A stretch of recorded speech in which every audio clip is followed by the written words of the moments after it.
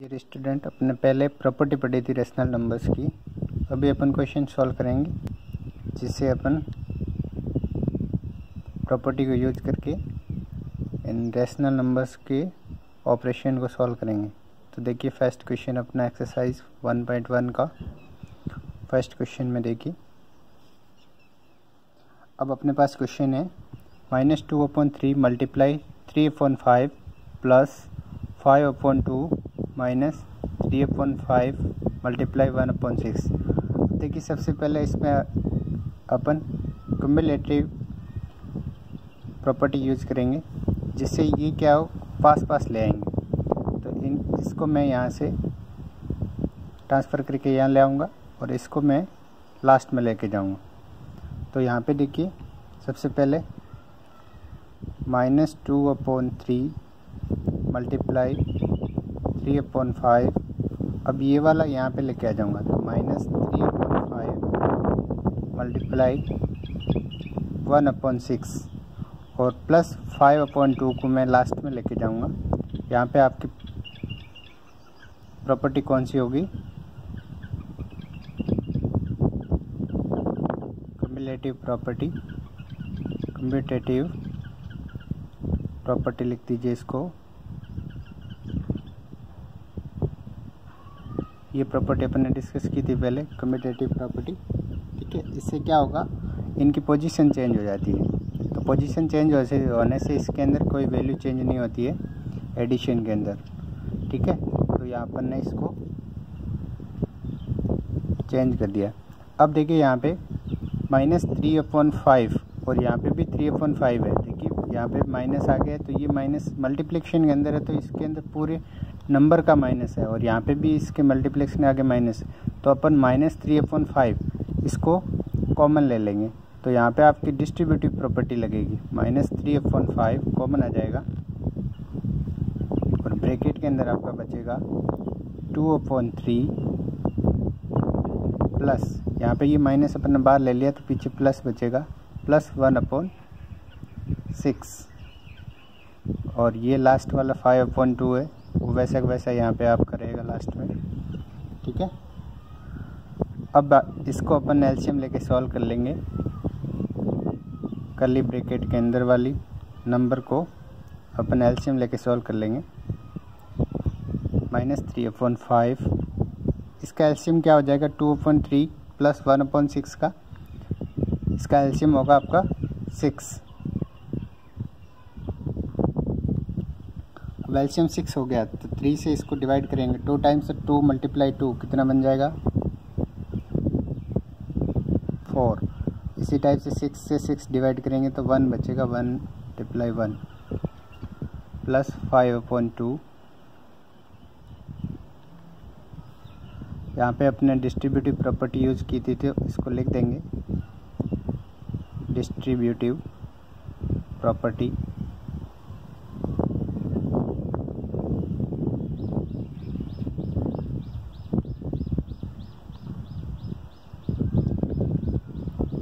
Distributive property अब यहाँ पे देखिए माइनस थ्री अपॉन फाइव इधर इसको अपन सॉल्व कर लेंगे करली ब्रैकेट वाला.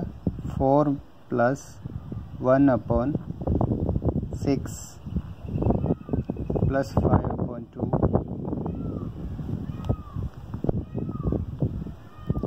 equal to minus three upon five ये आपका हो गया फाइव अपॉन सिक्स ये इसके मल्टीप्लाई में आ जाएगा plus five upon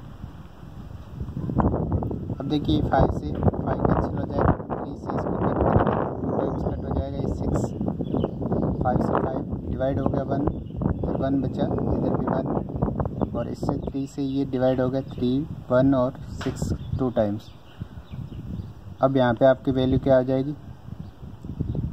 Minus one upon two plus five point two इसको वापस अपन एल सी एम लेके सॉल्व करेंगे। तो minus one plus five upon two equal to आपके पास आ जाएगा फोर अपॉन टू टू ये आंसर होगा आपका। फोर को टू से डिवाइड कर लेंगे। तो टू आंसर आएगा। तो यहाँ पे अपन ने टू प्रॉपर्टी यूज़ की एक commutative property and second distributive property तो इन प्रॉपर्टी को यूज़ करके इसको सॉल्व करना था। तो अपन ने ये दोनों प्रॉपर्टी यूज़ करके इसको सॉल्व कर दिया। इसी टाइप से इसका नेक्स्ट क्वेश्चन है। Two point five multiply minus three upon seven minus one upon six multiply three upon two plus one upon fourteen multiply two upon five तो इस क्वेश्चन को भी अपन प्रॉपर्टी यूज़ करके सॉल्व करेंगे। तो सेम प्रॉपर्टी अपन use करेंगे। इसमें देखिए सबसे पहले। Two point five multiply minus three upon seven minus one upon six multiply three upon two plus one upon fourteen multiply two point five अब यहाँ पे देखिए टू पॉइंट फाइव और टू पॉइंट फाइव इन दोनों मल्टीप्लिकेशन में आ रहा है। इट मीन्स ये दोनों जो नंबर्स है, इनको पास पास लाएँगे। तो वही प्रॉपर्टी यूज़ करेंगे सबसे पहले कम्यूटेटिव प्रॉपर्टी तो ये वाला नंबर अपन इसके पास ले आएँगे फ़र्स्ट वाले के, और इसको अपन लास्ट में भेज देंगे। तो अपन देख लीजिए। कम्यूटेटिव प्रॉपर्टी यूज़ करते हैं। तो two upon five multiply minus three upon seven अब ये माइनस वन अपॉन सिक्स है, इसको लास्ट में लिख देंगे।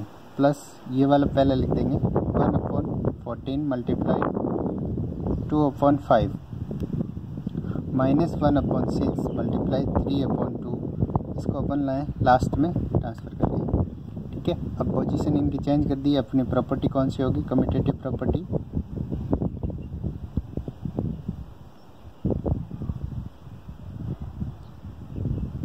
कमिटेटिव प्रॉपर्टी आपने यूज़ की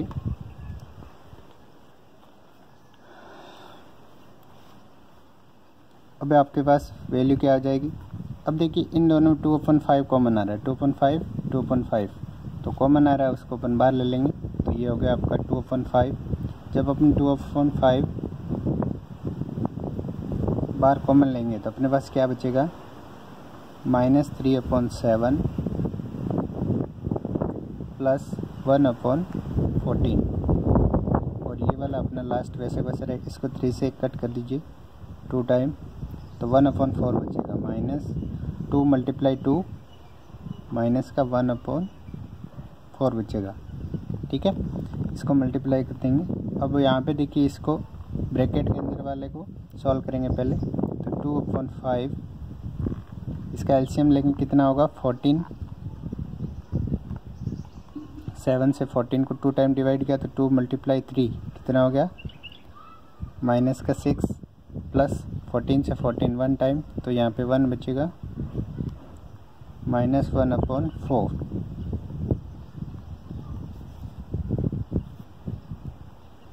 अब यहाँ पे देखिए। टू पॉइंट फाइव वैसे वैसे बाहर ही पड़ा रहेगा। ब्रैकेट के अंदर वाला वैल्यू आपके पास माइनस सिक्स प्लस वन तो ये प्लस और माइनस है तो सब्टेक्शन हो जाएगा। तो माइनस का फाइव बचेगा। Minus five upon fourteen minus one upon four अब ब्रैकेट को ओपन कर दीजिए। तो two upon five multiply minus five upon fourteen अब फाइव से फाइव कैंसिल हो जाएगा माइनस वन बचेगा यहाँ पे। सो टू से मल्टीप्लाई करेंगे, कितना आ जाएगा? सेवन तो अपने पास क्या वैल्यू रह जाएगी?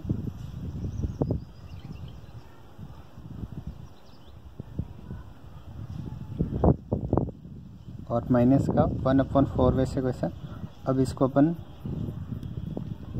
सॉल्व करेंगे। तो यहाँ पे बचा आपके पास minus one upon seven, minus one upon seven, और माइनस वन अपॉन फोर।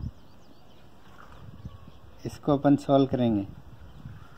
तो अपने पास क्या आंसर आ जाएगा? इसका एल्शियम लीजिए, कितना हो जाएगा? फोर और सेवन का ट्वेंटी एट तो minus four, minus minus seven. ऊपर दोनों माइनस के तो minus eleven upon twenty eight ये आंसर आएगा, ठीक है? ये प्रॉपर्टी अपन ने यूज़ की। दोनों प्रॉपर्टी एक यहाँ पे अपन ने डिस्ट्रीब्यूटिव प्रॉपर्टी यूज़ की, वहाँ पे कम्यूटेटिव तो यहाँ पे लिख देना डिस्ट्रीब्यूटिव प्रॉपर्टी डिस्ट्रीब्यूटिव प्रॉपर्टी ऊपर अपने कम्यूटेटिव प्रॉपर्टी यूज़ की। इन दोनों प्रॉपर्टी को अपने यूज़ करके इसको कंप्लीट सॉल्व कर लिया। ठीक है? तो इन दोनों क्वेश्चन को अपने फेयर कॉपी में नोट करना